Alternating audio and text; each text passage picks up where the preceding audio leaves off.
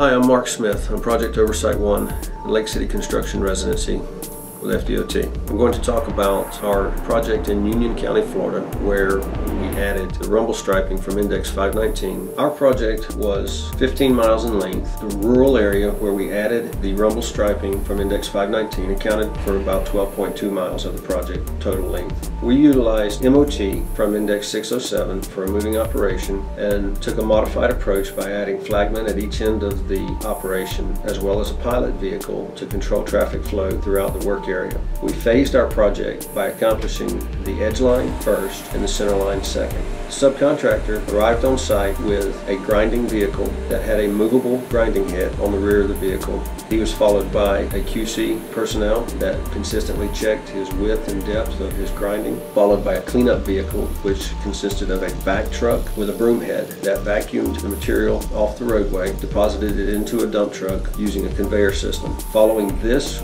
was the long line paint truck, which striped paint on the edge line and on the center line. For the purposes of our operation, and since it was added to our contract, we elected to delay the thermoplastic striping until later.